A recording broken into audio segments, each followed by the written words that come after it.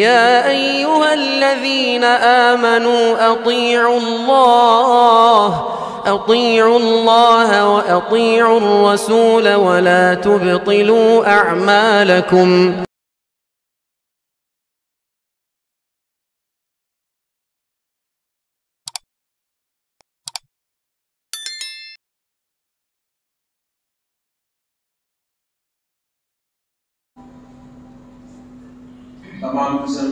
و ثنا تعریف توصیف، بڑائی، بزرگی عز و شان، جل و جلال، اللہ وحدہ لا شریک لہ، کے لیے لائق و زیبا ہے، جو ساری کائنات کا خالق، مالک اور معبود حقیقی ہے۔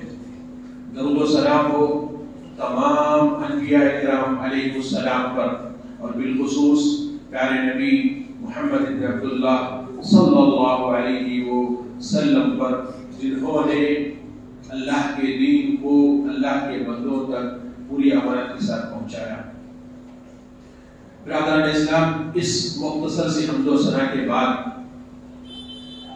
میں آج آپ لوگوں کے سامنے ایک حدیث وہ بھی حدیث قدسی ہے۔ حدیث قدسی اس حدیث کو کہا جاتا ہے، جو حقیقت میں اللہ کا کلام ہوتا ہے اور پیارے نبی صلی اللہ علیہ وسلم کو پہنچتا ہے اور آپ جو ہے بیان کرتے ہیں۔ ورنہ حدیث کا مطلب یہ ہے، عام طور سے حدیث جب ہم کہتے ہیں تو وہ جو بھی بات آپ صلی اللہ علیہ وسلم نے کی ہے، کہی ہے، جو بھی کام آپ نے کیا ہے یا کرنے کو کہا ہے، وہ سارے حدیث میں داخل ہو جاتے ہیں۔ لیکن میں جو حدیث آپ کے سامنے سنانے جا رہا ہوں، وہ حدیث قدسی ہے۔ قدس اللہ کا نام ہے۔ یہ اللہ کی طرف سے آئی ہوئی بات ہے۔ بس فرق یہ ہے کہ قرآن مجید بھی اللہ کی طرف سے آیا ہوا کلام ہے۔ وہ اس کی تلاوت کی جاتی ہے، نماز میں پڑھنا لازمی ہے، اس کے بغیر نماز نہیں ہوتی۔ لیکن حدیث قدسی کو جو ہے نماز میں نہیں پڑھا جاتا اور نہ اس کی تلاوت کے ذریعے عبادت کی جاتی ہے۔ لیکن یہ کلام ہے اللہ العالمین کا۔ تو بہت سارے حدیث قدسیہ جو ہے موجود ہیں۔ اس میں اللہ العالمین نے بندوں کی ہدایت کے لیے بہت سارے احکام نازل کیے ہیں۔ آپ لوگوں کے سامنے آج یہ حدیث قدسی میں سنانے جاؤں گا انشاءاللہ۔ جس یہ حدیث روایت کرتے ہیں ابو ذر غفاری رضی اللہ عنہ۔ کہتے ہیں کہ نبی کریم صلی اللہ علیہ وسلم نے روایت کی، کہا نہیں۔ نبی کریم صلی اللہ علیہ وسلم نے روایت کی، اللہ تعالیٰ فرماتا ہے۔ اللہ تعالیٰ فرماتا ہے۔ کیا فرماتا ہے اللہ تعالیٰ؟ یا عبادی، انی حرمت حرمت الظلم علیہ۔ اے بندو، میں نے اپنے اوپر ظلم کرنے کو میں نے جو ہے حرام قرار دیا ہے۔ میرے سے کبھی ظلم نہیں ہو سکتا۔ میں کسی پر ظلم نہیں کروں گا۔ انی حرمت حرمت الظلم علی نفسی۔ فجعلته بینکم محرما۔ جیسے میں نے ظلم کو اپنے لیے حرام قرار دیا ہے، ویسے ہی تمہارے درمیان بھی، بندوں کے درمیان بھی ظلم کو میں نے حرام قرار دیا ہے۔ یہ اللہ کا حکم ہے کہ کسی انسان کو یہ جائز نہیں ہے وہ کسی پر بھی کسی بھی قسم کا ظلم کرے۔ کسی بھی قسم کا ظلم۔ ظلم کا مطلب یہ نہیں کہ صرف ہم مار دھاڑ کریں، یہی ظلم نہیں ہے۔ ظلم کئی قسم کا ہوتا ہے آپ کسی کی عزت سے کھیلتے ہیں، زبان درازی کرتے ہیں، آپ اس کو جو ہے منٹلی ٹارچر کرتے ہیں، یہ ساری قسمیں ظلم میں داخل ہو جاتی ہیں۔ ہر وہ چیز جو انسان کو دوسروں پر جو ہے زیادتی ہوتی ہے، جس قسم کی بھی ہو، جس سے بھی ہو باپ کو نہیں چاہیے کہ اپنے اولاد پر ظلم کرے، نہ اولاد کو چاہیے کہ وہ باپ پر ظلم کرے، والدین پر ظلم کرے۔ ایک بھائی کو نہیں چاہیے کہ کسی اور بھائی پر ظلم کرے۔ نہ ایک شوہر کو چاہیے کہ اپنے بیوی پر ظلم کرے۔ نہ کسی عورت کو چاہیے کہ اپنے شوہر پر ظلم کرے۔ نہ کسی بڑے کو۔ یہ مناسب ہے کہ وہ چھوٹے پر ظلم کرے۔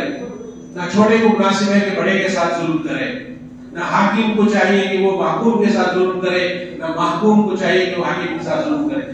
ظلم کی ہر قسم، ہر فرد کے ساتھ حرام کر دی کر اس حدیث میں اللہ تعالیٰ فرمایا یا عبادی اے میرے بندو انی حرمت الظلم علی نفسی فجعلته بینکم محرما میں نے تمہارے درمیان اس کو حرام کرا دیا فلا تظالموا آپس میں ظلم مت کیا کرو آپس میں ظلم مت کیا کرو آپ کو معلوم ہونا چاہیے علماء نے ذکر کیا کہ دو قسم ہے ظلم کے ایک وہ ظلم جو انسان اپنے نفس کے ساتھ کرتا ہے.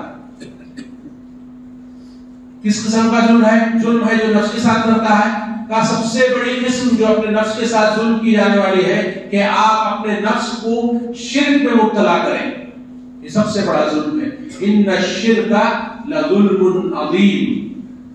شرک کرنا اللہ کی ذات کے ساتھ کسی اور کو کسی بھی قسم کا تصرف اس کے پاس ہے، یہ سمجھنا ظلم ہے۔ اللہ تعالیٰ کے جو چیزیں خاص ہیں وہ کسی کے اندر سمجھنا وہ ظلم ہے۔ تو شرک سب سے بڑا ظلم ہے جو انسان اپنے نفس پر کرتا ہے۔ مشرقین اپنے اوپر سب سے بڑا ظلم اپنے نفس پر کرتے ہیں۔ دوسروں کو اتنا نقصان نہیں اس کا، سب سے پہلے نقصان ان کا ان کے اپنے نفس پر ہوتا ہے کہ اس شرک کی وجہ سے ان کا نفس کل جہنم میں آگ میں جلنے والا ہے۔ شرک کسی نحوست جو اپنے نفس کو مبتلا کرتے ہیں۔ یہ نفس کے ساتھ ظلم ہے۔ اس کے علاوہ ظلم کی قسمیں بہت ساری ہیں جو انسان اپنے نفس کے ساتھ کرتا ہے۔ جیسے انسان اپنے نفس کو شہوتوں میں مبتلا کرتا ہے۔ ایسی چیزیں جو وہ اس نفس کے لیے مناسب نہیں ہے انسان کے نفس کے لیے وہ چیزیں مناسب نہیں ہیں۔ وہ کر گزرتا ہے تو وہ دوسروں پر ظلم نہیں، اپنے آپ پر، اپنے آنکھ پر کر رہا ہے، اپنے کان پر ظلم کر رہا ہے، اپنے جسم پر ظلم کر رہا ہے، اپنے نفس پر ظلم کر رہا ہے۔ یہ انسان کا، اپنے نفس پر ظلم ہو۔ اور دوسرا ظلم ظلم الاب بغیری کہ بندہ دوسرے کے ساتھ ظلم کرے۔ اور دوسرے کے ساتھ ظلم کیا ہے؟ یہ سب کے نزدیک واضح ہے۔ کسی کا بال لینا، کسی کی عزت کے ساتھ کھیلنا، کسی کو جو ہے کسی قسم کا ٹارچر کرنا، کسی بھی قسم کی دنیا کے اندر ظلم کی یہ قسم نہیں ہے کہ ہم اس کو بیان کریں۔ حاکم محکوم کے ساتھ، آقا جو ہے اپنے ماتحت لوگوں کے ساتھ مالک اپنے مزدوروں کے ساتھ مختلف قسم کے ظلم کرتے ہیں، مختلف قسم کے ظلم کرتے ہیں۔ یہ ظلم کسی بھی صورت میں درست نہیں ہے، اس کو اللہ تعالیٰ ہرگز پسند نہیں کرتا، بلکہ اس کو حرام قرار دیا ہے۔ جیسے انسان کو شراب پینا حرام ہے، جیسے زنا کرنا حرام ہے، جیسے چوری کرنا حرام ہے، یہ ظلم بھی انسانوں کے درمیان آپس میں کرنا جو ہے حرام ہے۔ یہاں تک کہا ہے، کوئی مذاق سے کسی آدمی کو تھوڑی دیر کے لیے کوئی چیز اٹھا کر رکھ لینا، یہ بھی اس کے ساتھ جو ہے زیادتی ہے۔ مذاق سے کوئی چیز چھپا دی، وہ آدمی تھوڑی دیر کے لیے پریشان ہو جاتا ہے۔ آپ کا لڑکا ہو، یا کوئی بھی آپ کا جو ہے، اپنا پہچاننے والا آدمی ہو جس سے آپ محبت بھی کرتے ہیں، لیکن وقتی طور پر تھوڑی دیر کے لیے جو آدمی اپنی کسی چیز کو نہ پا کر پریشان ہو گیا ہے، اتنی دیر کے لیے جو ہوا، اتنی دیر جو حالت اس کی گزری ہے، وہ حالت جو ہے ظلم اور زیادتی کی قسم میں داخل ہوتی ہے۔ اسی لیے اللہ کے نے کہا، کوئی بھائی اپنے بھائی کہیں چھپ کر نہ ڈرائے۔ کوئی ایسی خبر سنا کر، جھوٹی خبر ایسے یا بنواٹی خبر سنا کر جو ہے، تھوڑی دیر کے لیے جو ہے، آدمی کے اندر جو ہے، کچھ ڈر پیدا کیا جاتا ہے۔ یہ بھی زیادتی ہے۔ اس کی بھی زیادتی ہے۔ اللہ العالمین کی ذات ظلم سے پاک ہے۔ ان اللہ لا یظلم مثقال حبہ۔ مثقال ذرہ، اللہ تعالی ذرہ برابر بھی ظلم نہیں کرتا۔ پھر اللہ تعالیٰ اپنے بارے میں قرآن مجید میں بے شمار مقامات میں کہہ دیا کہ میں بندوں پر ظلم کرنے والا نہیں، ان کے ساتھ رحم کرنے والا۔ اللہ تعالیٰ کے بارے میں اللہ کے نبی صلی فرماتے ہیں، واللہ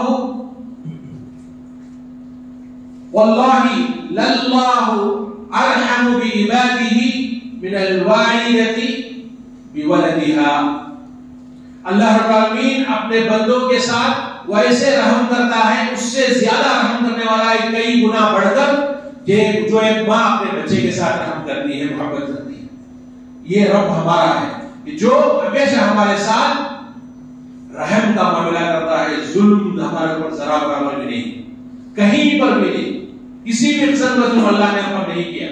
نہ عبادات میں، نہ معاملات میں، نہ حلال و حرام میں۔ جو کچھ بیان کیا ہے، سارا انصاف اور عدل اور مساوات پر مبنی ہے۔ حدیث میں آگے اللہ کے نبی صلی اللہ علیہ وسلم نے روایت کیا کہ اللہ فرماتا ہے، یا عبادی، کلکم ضال الا من هديته اے بندو، تم سارے کے سارے گمراہ ہو، مگر ان کے جن کو میں ہدایت دے دوں۔ سارے کے سارے تم گمراہ ہو مگر ان کے جن کو میں ہدایت دے دوں۔ میں جن کو ہدایت دیتا ہوں، وہی لوگ جو ہے ہدایت یافتہ ہیں، ورنہ سارے انسان گمراہ ہیں۔ سارے انسان گمراہ ہیں۔ بلکہ اللہ کے نبی صلی اللہ علیہ وسلم کے بارے میں اللہ نے فرمایا وَوَجَدَكَ ضَالًا فَهَدَى وَوَجَدَكَ عَائِلًا فَأَغْنَى ہم نے آپ کو ضال پایا اور آپ کو ہم نے ہدایت دی۔ یعنی کوئی راہ آپ کے سامنے نہیں تھی کہ کیسے عبادت کریں اللہ کی۔ اللہ کی عبادت کیسے کرنا چاہیے؟ شریعت کیا ہے؟ زندگی کے اندر کیا حلال اور کیا حرام ہے؟ کیا درست اور کیا غلط ہے؟ اس کا کوئی اندازہ نہیں تھا، نہ اللہ کے نبی کو نہ کسی اور کو۔ کس نے ہدایت دی اس کی؟ اللہ نے فرشتوں کو بھیج کر کتابوں کو نازل کر کے انبیاء کے ذریعے لوگوں کی ہدایت دی ہدایت دی لوگوں یہ اللہ تعالیٰ کا احسان ہم کو ماننا چاہیے۔ اللہ نے کہا، یا عبادی، اے میرے بندو، کلکم ضال تم سارے کے سارے گمراہ ہو. الا من ہدیتہ، فاستہدونی، جب آپ کو معلوم ہے کہ میں نے تمہیں ہدایت دی ہے، جب کبھی تمہیں کسی رہنمائی کی ضرورت ہے، مجھ سے مانگو، مجھ سے رہنمائی پاؤ، مجھ سے ہدایت طلب کرو، میرے پاس ہدایت ہے، کسی کے پاس نہیں ہے اللہ کے نبی کو خود کہا، اللہ تعالیٰ نے، انکا لا تہدی من احببت ولیکن اللہ یہدی من یشاء. اے اللہ کے نبی، آپ کے بس میں نہیں ہے کسی کو ہدایت دے دیا اللہ جس کو چاہتا ہے، اس کو ہدایت دیتا ہے۔ اللہ کے نبی کی خواہش نہیں کہ ابو طالب ایمان لائے، ابو جہل ایمان لائے، ابو لہب ایمان لائے۔ کیا وہ لوگ ایمان لائے؟ نہیں لا سکے۔ کتنی کوشش کی ہے پیارے نبی صلی اللہ علیہ وسلم؟ نہیں ہو سکا۔ اس لیے کہ ہدایت اور توفیق، یہ اللہ العالمین کے ہاتھ میں۔ اللہ نے کہا فاستہدونی اہدکم میرے سے تم لوگ جو ہے، ہدایت طلب کرو، میں تم کو ہدایت دینے والا فاستہدونی اہدکم ہدایت اللہ سے مانگنا چاہیے۔ اسی لیے نماز میں ہمیں سکھا گیا، روزانہ ہم جو نمازیں پڑھتے ہیں، ہر رکعت میں اہدنا الصراط المستقیم۔ ہدایت اسی سے مانگنا چاہیے۔ ہر معاملے کے اندر آپ کی زندگی کے ہر معاملے میں آپ کو ہدایت اللہ سے مانگنا چاہیے۔ اے اللہ، میں تیری تیری توفیق اور ہدایت مانگتا ہوں۔ مجھے صحیح رہنمائی فرما۔ میرے میرے میرے، مجھے تو لے کر چل۔ تو ہی مجھے راہ دکھانے والا ہے۔ کوئی راہ دوسرا دکھانے والا نہیں۔ ہدایت اللہ سے طرف اللہ کے مساسر نے بطر کی دعا میں سکھایا اللہم اہدینی فی من ہدیت وعافینی فی من عافیت۔ یہ دعائیں کیوں سکھائی اللہ کے مساسر نے اس لیے کہ ہدایت صرف اور صرف کسی کے ہاتھ میں ہے تو اللہ کے ہاتھ میں ہے، نہ انبیاء کے ہاتھ میں ہے، نہ کسی اولیاء کے ہاتھ، نہ کسی کے ہاتھ میں۔ آدمی بول سکتا ہے، لیکن ہدایت کو لے کر نہیں جا سکتا۔ ہدایت کی توفیق دینا، اس پر لے کر چلنا، اس پر لگانا یہ اللہ کے ہاتھ میں ہے۔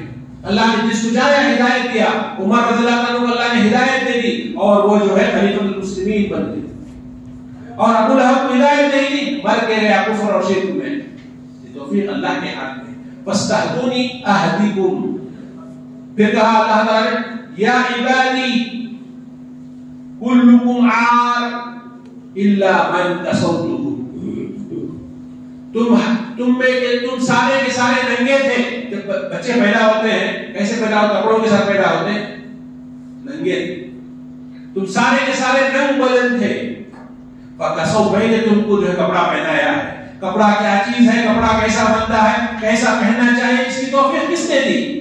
اللہ نے دی بندوں کو۔ کبھی چند بندے یہ اپنی سطح کو چھپا سکے، اپنی زیب و زینت اختیار کر سکے۔ وہ یہ ہدایت نہیں ملتی تو ہم بھی جانوروں کی طرح گھومتے تھے، جو بغیر کپڑوں کے گھومتے۔ ہیں یہ اللہ کی توفیق سے ہوا۔ پھر اللہ تو فقصونی مجھ سے مانگو کہ تمہارے اوپر تمہارے کپڑے میں اچھے سے اچھے پہناؤں۔ کپڑے مانگنا بھی کس کے لیے ہے؟ اللہ سے مانگنا۔ ہمارا پہناوا صحیح ہو، یہ اللہ سے ہمیں مانگنا چاہیے کہ ہم کون سا پہناوا ہو، ہمارا ہو، کیسے کپڑے پہنے، ہمارا لباس کیا ہو، اللہ سے اس کی توفیق مانگنا چاہیے۔ اس لیے کہ آدمی یہ لباس اگر کپڑے کے نیچے کر دے تو اللہ کے ساتھ کا رہا۔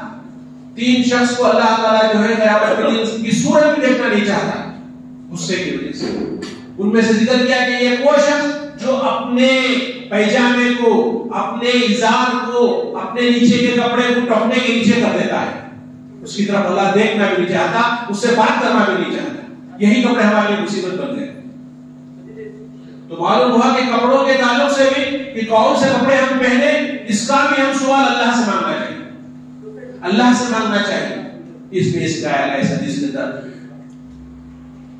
اکسکم تم کو میں پہنا ہوں گا۔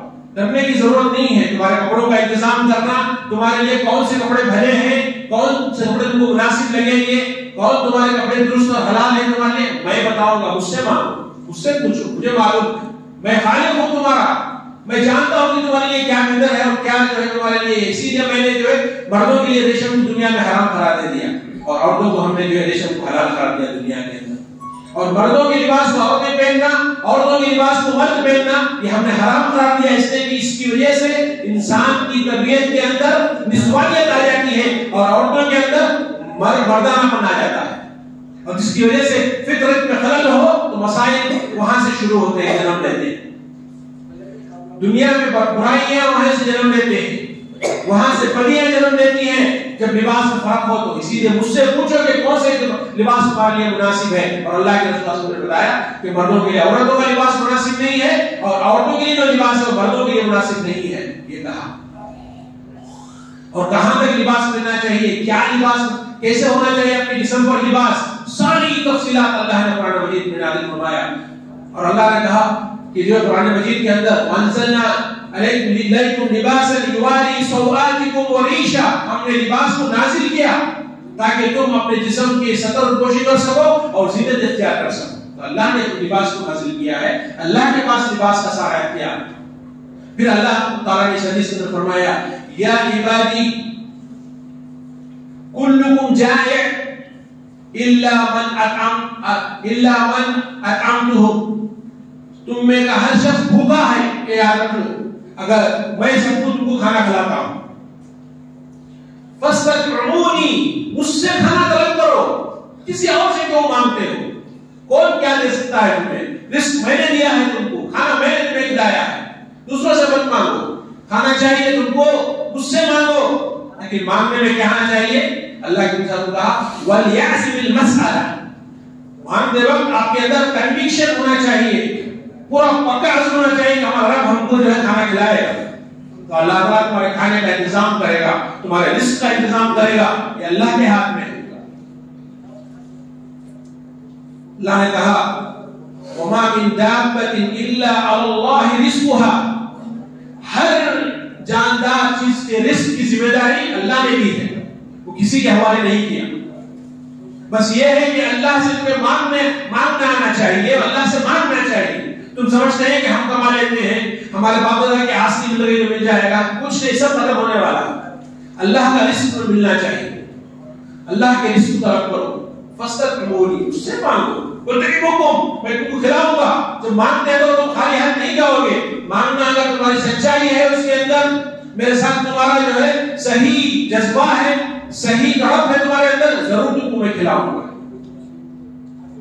اللہ رب العالمین نے فرمایا کہ تم مجھ سے مانگو میں تمہیں کھلاؤں۔ پھر اللہ تعالیٰ نے کہا، یا عبادی، اے میرے بندو، تم مجھ تک جو ہے نقصان، نفع نہیں پہنچا سکتے نقصان نہیں پہنچا سکتے۔ تم مجھ، میرے، مجھ تک نقصان پہنچا، تمہارے بس میں نہیں ہے۔ اور نہ ہی مجھے کوئی نفع کو پہنچا سکتے۔ پورے بندے مل کر اللہ کو نقصان پہنچا پہنچا سکتے ہیں؟ نہیں۔ مجھ تک تمہارے بس میں نہیں ہے کہ نقصان پہنچاؤ اور نہ تمہارے بس میں ہے کہ نفع پہنچاؤ۔ تمہارے گناہ کرنے سے، تمہارے نافرمان ہو جانے سے میرا کچھ بگڑنے والا نہیں ہے۔ میری بادشاہیت میں، میری قدرتوں میں، میری ملکیت میں کسی چیز میں ذرا برابر بھی کمی آنے والی نہیں ہے۔ تمہارا نقصان مجھے کچھ نقصان پہنچنے والا نہیں تمہارا نقصان پہنچانا مجھ تک نہیں پہنچ سکتا۔ اور نہ نفع تو مجھے پہنچا سکتے ہو۔ یعنی تم پورے مدد گزار ہو گئے۔ تم اللہ کو نفع پہنچانا چاہے ہرگز نہیں پہنچا سکتے۔ تو معلوم ہوا کہ نفع اور نقصان ہم اللہ کو نہیں پہنچا سکتے۔ یہ اللہ تعالیٰ، یہ انسان کے بس میں نہیں ہے۔ پھر اللہ تعالیٰ نے فرمایا، یا عبادی، ولو ان انسکم و جنکم، تم میں کا ہر شخص چاہے وہ انس ہو یا جن ہو۔ علا اتقا رجل قلب على اتقى قلب رجل واحد منكم تم میں کا کوئی تم سارے دنیا کے پورے انسان، پورے جنات مل کر جو ہے، دنیا کے سب سے بڑے متقی پرہیزگار شخص کے مطابق ہو جائے۔ عمال کے اندر، عبادتوں کے اندر، سارے معاملات کے اندر، سارے انسان اور جن اللہ کے اس بندے کے مطابق ہو جائیں جو اللہ کا سب سے برگزیدہ متقی پرہیزگار بندہ ہے، ایسے اگر ہو جائے ایسا اگر ہو جائے تو کیا تمہارا ایسا ہونا میری بادشاہ ہے تو کچھ بڑھانے والا ہے؟ کچھ نہیں بڑھنے والا ہے۔ تمہارے ایسے پرہیزگار ہو کر سارے کے سارے عبادتیں کرنے سے میری بادشاہیت میں کوئی اضافہ ہونے والا نہیں ہے۔ میری قدرتوں میں کوئی اضافہ ہونے والا نہیں ہے۔ وَلَوْ أَنَّ إِنسَكُمْ وَجِنَّكُمْ عَلَىٰ قلب رجل فاجر۔ اگر تم میں کا ہر شخص دنیا کے بدترین فاجر فاسد انسان کے مطابق ہو جائے، تو تمہارا یہ اللہ کی عبادتوں کو چھوڑ دینا، نافرمانیاں کرنا اور فسق و فجور میں اختیار کرنا، یہ میری بادشاہیت میں ذرا برابر بھی کمی کرنے والا نہیں۔ ذرا برابر بھی میری بادشاہیت میں کمی ہونے والی۔ تمہارا عبادت گزار ہونا تمہارے لیے فائدہ بخش۔ ہے تمہارے نفسوں کے لیے فائدہ بخش ہے۔ تمہارے حق میں اچھائی ہے وہ۔ میرے لیے کچھ نہیں ہے اس سے۔ تمہارا نقصان میں ثابت ہونا، تمہارا اپنے آپ کو فسق و فجور میں داخل کرنا، اللہ کے نافرمان بننا، اس کا نقصان تمہیں لوٹ کر آئے گا، مجھے آنے والا نہیں ہے۔ یہ کہا اللہ تعالیٰ نے۔ پھر اللہ تعالیٰ نے کہا، یا عبادی، تم میں اے میرے بندو، تم میں کا ہر شخص، تم میں کا ہر شخص، دنیا کے سارے شخص مل کر سارے انسان مل کر سارے جن اور انس مل کر ایک زمین پر کھڑے ہو جائے ایک چٹیل میدان پر کھڑے ہو جائے کھڑے ہو کر سارے مل کر کھڑے ہو جائیں کھڑے ہو کر اللہ تعالیٰ سے جو ہے وہ ساری چیزیں مانگے جو دنیا کا مالدار سے ترین شخص رکھتا ہے اپنے پاس دنیا کا مالدار ترین شخص جو اپنے پاس رکھتا ہے دولت وہ دولت کا مطالبہ دنیا کا ہر شخص کرے ہر انس اور ہر جن ہر انسان اور ہر جن اللہ کے پاس اس کا مطالبہ کرے۔ لا تو مسئلہ تو میں ہر شخص کو جو دنیا کے ہر شخص کو اتنا مالدار بناؤں گا جو دنیا کا سب سے بڑا مالدار شخص ہے۔ اور ہر جن کو اتنا مالدار بناؤں گا جو دنیا کا سب سے بڑا مالدار شخص ہے۔ اس کے باوجود کیا ہوگا؟ لا ينقص من ملکی شیئا۔ میری میرے پاس جو کچھ ہے اس میں کچھ کمی آنے والی نہیں ہے۔ الا الا فی البحر۔ صرف اتنی کمی سمجھیے جیسے ایک آدمی سوئی لے کر جو ہے سمندر میں ڈالے اور باہر نکالے تو کتنا پانی آئے گا اس میں؟ ایک سوئی کے جو ایک سوئی کے اندر کتنا پانی آتا ہے؟ وہ نہیں ہونے والا ہے۔ اللہ تعالیٰ سارے انسانوں کو دنیا کے مالدار ترین شخص کے مطابق دولت بھی دے دے، تو ذرا برابر بھی جو ہے اللہ کی بادشاہیت میں کمی آنے والی نہیں۔ اللہ تعالیٰ ویسے قدرتوں کا، ویسے بادشاہیتوں کا، ویسے مال کا، ویسے میراث کا اللہ تعالیٰ مالک ہے۔ ہمیں اس کا عقیدہ ہونا چاہیے۔ لیکن دنیا میں اللہ تعالیٰ انسانوں اور جنوں کے درمیان جو دولت کی تقسیم کیا ہے، نحن قسمنا بینہم معیشتا۔ ہم انسانوں کے درمیان جو ہے مال اور دولت کو تقسیم کیے ہیں۔ کیوں؟ تاکہ ایک دوسرے کو جو ہے وہ کام میں لا سکے، سب کو مالدار بنا لیں گے، تو کون کام کرنے آئے گا؟ کوئی کام دنیا کا ہو سکتا ہے؟ سارے لوگ چاہیں گے کہ ہم بیٹھ کر آرڈر کریں۔ تو اللہ کی یہ مرضی ہے، اللہ کی یہ حکمت اور مشیت ہے کہ وہ کچھ انسانوں کو مان دیتا ہے، کچھ انسانوں کو اللہ تعالیٰ غربت دیتا ہے، کچھ کو فقر و فاقہ دیتا ہے، کچھ کو درمیان میں رکھتا ہے، کسی کو شروع میں مان دیتا ہے، بعد میں چھین دیتا ہے، کسی کو شروع میں نہیں دیتا، بعد میں دیتا ہے، ساری مصلحتوں کے مطابق اللہ العالمین بہتر جانتا ہے کہ کس کے لیے کیا چاہیے، کتنے وقت تک چاہیے اور کب اس سے اس مال کا چھیننا چاہیے۔ یہ سارے اللہ کے پاس برادران اسلام، اللہ العالمین نے فرمایا کہ اے لوگو، انما ہی اموال، انما ہی اعمالکم اوسیہا لکم۔ تم لوگ جو عمال کرتے ہو نا، یہ اعمال پورے کے پورے میں اس کو شمار کر کے رکھا ہوں۔ تم جو بھی عمل کرتے ہو، کوئی سبحان اللہ بولتا ہے، کوئی اٹھ کر بسم اللہ بولتا ہے، کوئی کھاتے وقت بسم اللہ بولتا ہے، کسی کو کوئی جو ہے نیک رہنمائی کر دیتا ہے، کوئی کسی کو جو احسان کر دیتا ہے، کوئی صدقہ کر دیتا ہے، کوئی کچھ کوئی کچھ آدمی دنیا دنیا میں صبح سے شام تک کہیں نہ کہیں کوئی نہ کوئی خیر کا کام کرتے رہتا ہے۔ کوئی زیادہ کرتا ہے، کوئی کم کرتا ہے، یہ سب اللہ کی توفیق سے ہے۔ تو صبح سے شام تک جو کچھ تم عمال کر رہے ہو، چاہے زبان سے یا تمہارے ہاتھ اور جسم کے اعضاء سے، سارے کے سارے اعمال میں اس کو محفوظ رکھا ہوں۔ گن گن کر رکھا ہوں کہ یہ کتنا وزنی عمل ہے، یہ کتنا جس کو جہاں رکھنا چاہیے، وہاں میں جو دفتر کے اندر رکھا ہوں۔ انما ہی اعمالکم محسیہ لکم۔ کس کے لیے میں نے رکھا ہے حساب کتاب؟ اسے مجھے کیا پیدا ہونے والا ہے؟ کہ تمہارے لیے پیدا ہے۔ وَيُوَفِّيكُمْ اس کا پورا پورا اجر دینے والا ہوں۔ پورا پورا اجر دینے کے لیے اس سے بڑی انصاف اس, اس سے بڑا کون ہے جو انصاف کرنے والا ہے؟ کہ آپ کے عمل آپ کو خود خیال نہیں ہے کہ آپ کیا کیے آپ جوانی میں کیا کیے ہیں ادھیڑ عمر میں کیا کیے بڑھاپے میں کیا کیے بچپن میں کیا کیے آپ کے سارے اعمال کو اور اس میں بھی اللہ کا رحم و کرم ہم پر اتنا ہے کہ ایک نیکی تو اللہ نے کہا الحسنۃ بعشر امثالها یہ ایک نیکی کو دس گنا بڑھا کر رکھتا ہے اللہ تعالیٰ۔ نیکی کو دس گنا بڑھا کر اور جو آدمی برائی کرتا ہے، اس کو اتنا ہی رکھتا ہے جتنا برائی اس نے کیا اس کو بڑھوتری نہیں ہوتی۔ نیکی کے اندر اللہ کے رحم و کرم اور فضل سے، اللہ کے احسان سے ہر نیکی دس گنا بڑھ جاتی ہے۔ الى سب امیت صرف دس نہیں، انسان کا اخلاص ہو، انسان کا جذبہ ہو، تو چھوٹی نیکی جو ہے، وہ سات سو گنا سے بھی زیادہ بڑھ جاتی ہے۔ سات سو گنا سے بھی زیادہ بڑھ جاتی ہے۔ تو یہ اللہ نے کہا کہ جیسے اس کی مثال ایسی ہے کہ ایک آدمی ایک دانا زمین میں ہوتا ہے، اس سے ایک پیڑ نکلتا ہے، اس پیڑ سے سات جو ہے شاخیں پھوٹتی ہیں اور ہر شاخے میں گوشہ رکھتا ہے، جس پہ سو سو دانے لگے ہوئے کیا ایک دانے سے سات سو ہوئے کہ نہیں ہوئے؟ ہو گئے۔ تو ویسے ہی اللہ نیکیاں بھی جو کرتا ہے؟ کہ نیکیوں کو بھی جو ایسے ہی اللہ تعالیٰ انسان کی نیت اور اخلاص سے بڑھا دیتا ہے۔ تو برادران اسلام، اللہ تعالیٰ ہمارے اعمال کو محفوظ رکھا ہے۔ اللہ نے اس حدیث سے میں کہا فَوَفِيهُمْ فَوَفِيكُمْ وہ تو اس کا میں پورا پورا بتا دینے والا۔ ہوں فَمَنْ وَجَدَ خَيْرًا فَلْيَحْمَدِ اللَّهِ۔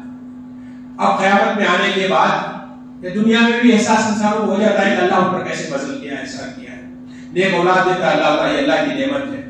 مال و دولت دیتا ہے توفیق بھی دیتا ہے، کار خیر میں خرچ کرنے کی اللہ کی توفیق احساس ہوتا ہے دنیا میں بھی۔ اور آخرت میں تو ہوگا ہی، انسان کو احساس اللہ کے سامنے جب کھڑے ہوگا حساب و کتاب کے لیے، تو وہاں جو خیر کو پائے گا انسان فلیحمد اللہ تو چاہیے کہ وہ اللہ کی اللہ کی حمد بیان کرے۔ اللہ کی حمد بیان کرے۔ کہ جو ہے اللہ نے اس کے مال کو، اس کے اعمال کو جمع کر رکھا تھا اور اس کے اندر جو ہے اللہ نے اضافہ کیا اضافہ کیا۔ اتنے سارے اعمال ہو گئے کہ اس اعمال کی بنیاد پر اللہ تعالیٰ اپنے فضل سے جنت میں سے داخل کر رہا ہے۔ تو آدمی کو چاہیے کہ اس پر الحمدللہ الذی ہدانا لہذا وما كنا لنهتدي لولا ان هدانا الله یہی دعا کر کے جنت میں داخل۔ تمام تعریفیں اس اللہ کے لیے جس نے ان نیک اعمال کی دنیا میں ہمیں توفیق دی تھی، جس کی وجہ سے ہم آج اس کا اجر یہاں پا رہے ہیں۔ یہ اللہ کا شکر بندے وہاں قیامت کے دن اللہ کے سامنے۔ فمن وجد خیرا فلیحمد اللہ ومن وجد غیر ذلك۔ وہاں جانے کے بعد پتہ چلا کہ دنیا میں ہم نے ایسے ہی جو ہے، اپنی زندگی گزار کے یہاں تشریف لا لیے ہیں۔ یہاں حساب و کتاب میں پھنس گئے ہیں اللہ کے سامنے۔ ایسا کوئی وہاں پائے، وہاں اس کے پاس کوئی نیکیاں نہیں ہے ظلم ہی ظلم کر کے دنیا میں، وہ آخرت میں آیا ہے۔ ایسا آدمی فلا یلومن الا نفسه۔ وہ آدمی کسی اور کو برا بھلا نہ کہے، بلکہ اپنے آپ پر برا بھلا کہے، اپنے آپ سے جو ہے وہ پوری طریقے سے جو ہے ملامت کرے۔ کوئی اور اس کا سبب نہیں بنا، وہ خود سبب بنا ہے۔ اس نتیجے کا، اس انجام کا جو یہاں آ رہا ہے۔ تو اس حدیث میں، اس بات کے ساتھ جو ہے، یہ حدیث ختم ہوتی ہے۔ جو میں نے ابھی بیان کیا ہے، اللہ سے دعا ہے کہ اللہ العالمین مجھے اور آپ کو نیک ہدایت دے۔ اللہ العالمین مجھے اور آپ کو حلال رزق کھلائے اللہ مجھے اور آپ کو اللہ العالمین جو ہے اچھے دین اسلام کے مطابق کپڑے پہنائے۔ اللہ العالمین ہماری ہدایت اپنے ہاتھ میں رکھے اور ہمیں ہمیشہ جو ہے ہدایت پر، دین پر، اسلام پر ثابت قدم رکھے۔ اللہ العالمین ہمارا فیصلہ قیامت کے دن جو ہے نیکیوں کے ساتھ، ہمارے ساتھ رحم کا معاملہ کرے اور ہمیں جنت میں داخل فرمائے۔ اقول قولی هذا واستغفر الله ولكم ولسائر المؤمنين واستغفروه انه هو الغفور الرحيم برادر اسلام یہ جو کووڈ کا چل رہا ہے، آئندہ جمعہ سے آپ لوگ احتیاط کریں جو لوگ ماسک نہیں پہن کر آتے وہ ماسک پہن کر آئیں۔ فاصلہ قرآن تھوڑا کم از کم جو چھوڑ کر بیٹھے۔ اس لیے کہ ہو سکتا ہے کہ جو ہے، حکومت کے کارندے آئیں اور جو ہے، یہ چیز دیکھیں اور مسجد کو بند کرنے کے لیے وہ پیچھے لگ جائیں۔ ایسا نہ ہو، سب سے درخواست کی جاتی ہے اس کا مسجد میں آتے ہوئے خیال کریں۔ اور یہاں آ کر وضو کرنے سے گھروں سے وضو کر کے جانے نماز لے کر تشریف لائیں تاکہ جو ہے، سب پر آسانی ہو۔ اللہ تعالیٰ مجھے اور آپ کو نیک توفیق دے۔